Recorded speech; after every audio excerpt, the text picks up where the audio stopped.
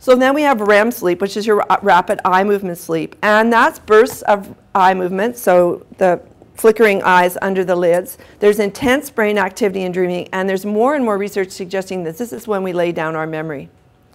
And so um, if we've got interruptions in our REM sleep, if we're constantly coming up out of REM sleep and not getting back into it again, um, that's not good for our memory and our, our ability to lay down our, our memories. There's mu muscle twitching and vocalizations can occur in this stage of sleep, but this is not when sleepwalking occurs. Sleepwalking or night terrors occur in deep sleep. Um, they, they don't occur in, um, in REM sleep. This is when we see the behavioral sleep problems. So that's a good way of dis, uh, differentiating between what we call dysomnias, which is the stuff that we see around the behavioral sleep problems, and the parasomnias, which are the deep stage four sleep, which is where we get the night terrors and the sleepwalking.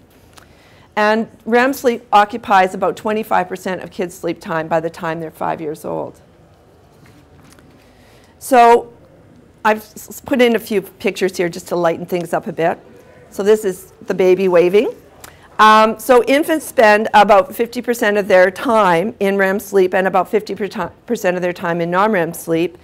And young infants, very young infants, usually begin their sleep with REM. But as they get a little bit older, they, they begin their sleep with non-REM. So that shifts. Um, in newborns, total sleep time averages about 16 hours a day. Um, but it can range from 11 to 23 hours. So you'll have some mums who say to you, I can never get anything done because my kid never sleeps. Those are the 11 hour a day sleepers. And then there's other moms who'll say to you, I'm bored out of my mind because I figured that I was going to be all tied up with my kid uh, at the beginning of my mat leave, and this kid is sleeping almost all day. And those are the 23 hour a day sleepers. So you don't want to have your first kid be, be a 23 hour a day sleeper and your second kid be an 11 hour a day sleeper because generally it's not very pleasant when that happens. It's a big shock, exactly. Now this decreases to an average of about 15 hours by three months, so 15 hours of total sleep time, and by six months it decreases to an average of about 14 hours of total sleep time. You'd be amazed how many families I talk to where their six-month-olds are sleeping more like 10 or 11 hours of total sleep time. There's a lot of sleep-deprived babies out there. Um, and as these children get older, sleep becomes concentrated during the night in what we call the longest sleep period. And this is when they start to consolidate their daytime sleep and their nighttime sleep, and they have longer uninterrupted nighttime sleep. And so it's reasonable by the time um, a child reaches six months of age to expect that you're going to have this longest sleep period that will last about six hours. So by three weeks of age, the longest sleep period is only about 25% of, of total sleep time. Um, and so it's only about 212 minutes, which is around three to four hours. Um, but by six months, it's increased to about uh, six hours. And it gradually shifts into more time as the child um, gets older. But there are six-month-olds who can maintain sleep for um, 10 or 11 hours. So it, there's a, quite a, a, range there. There's quite a bit of variation. But they, at minimum, should be at least able to maintain that six hours of longest sleep period without interruption. And usually by the time babies are six months old, they're starting to consolidate their, their daytime sleep into two to three naps a day. And ideally what we're aiming for is two naps a day, one in the morning and one in the afternoon. And the reason we're aiming for that is because they're developing, they're going through developmental sta stages and changes and they need, as part of their development, to begin to consolidate their sleep. So giving parents advice for six-month-olds that's the same as the advice that you give them for newborns or six-week-olds is not appropriate. And a lot of parents do get that advice when their babies are six months old. Don't worry if their sleep isn't consolidating. Don't worry if they're waking up all the time. That's just part of babyhood. They'll grow out of it blah, blah, blah, and they don't, and it's not, and it's not taking into account their developmental stages. That, by the way, is my grandson. Having one of his getting ready to go to sleep periods. So for normal sleep in toddlers, um, total sleep averages about 13 hours by two and about 12 hours by three to four years of age. But again, there's large variability in this group.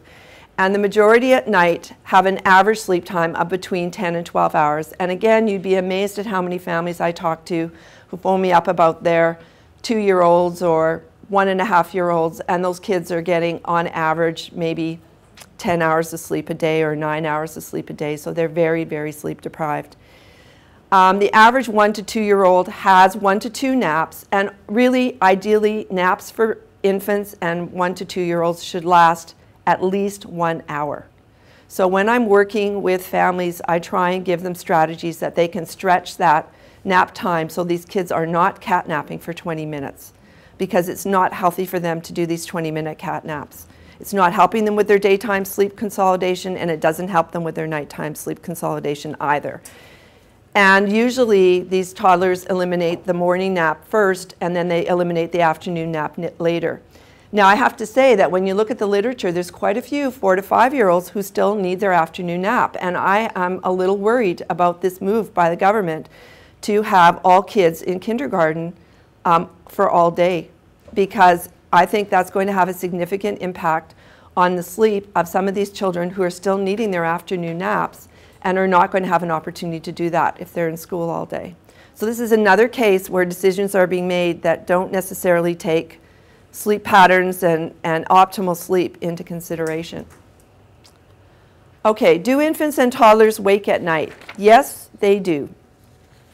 Um, they all have these episodes of semi wakefulness that occur five to seven times a night.